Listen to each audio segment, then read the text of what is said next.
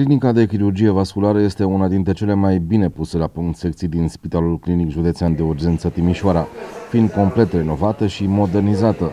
În urmă cu 10 ani, clinica pornea la drum cu 280 de pacienți, iar astăzi asigură urgențele chirurgicale vasculare pentru 7 județe și operează peste 2000 de pacienți într-un an.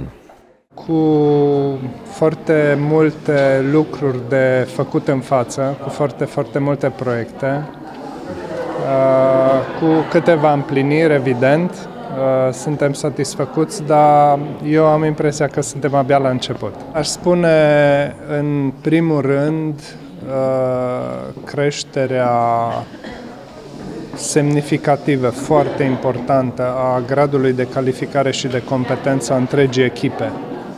Adică reușim să rezolvăm mult, mult mai multe cazuri. Gândiți-vă că în acești 10 ani, numărul de operații pe an este de 10 ori mai mare. Complexitatea cazurilor este de asemenea, abordăm cazuri foarte, foarte dificile, am abordat foarte multe tehnici noi, inclusiv tehnicile moderne minim-invazive, pentru care sunt extraordinar de satisfăcut împreună cu echipa mea. Și al doilea lucru important,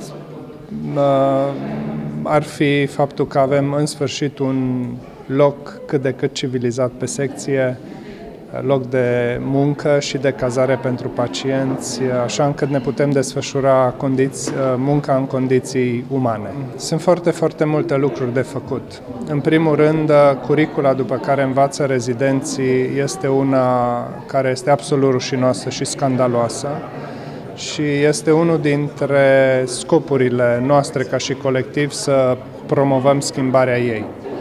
În al doilea rând, dorim să promovăm schimbarea modului nostru de lucru. Suntem pe parcursul de a elabora un fel de regulament intern al uh, instruirii uh, rezidenților, care este inspirat din modelele uh, care sunt acum în funcțiune în Europa și care vor responsabiliza cu totul altfel și vor închega cu totul altfel pe alte baze întreg colectivul.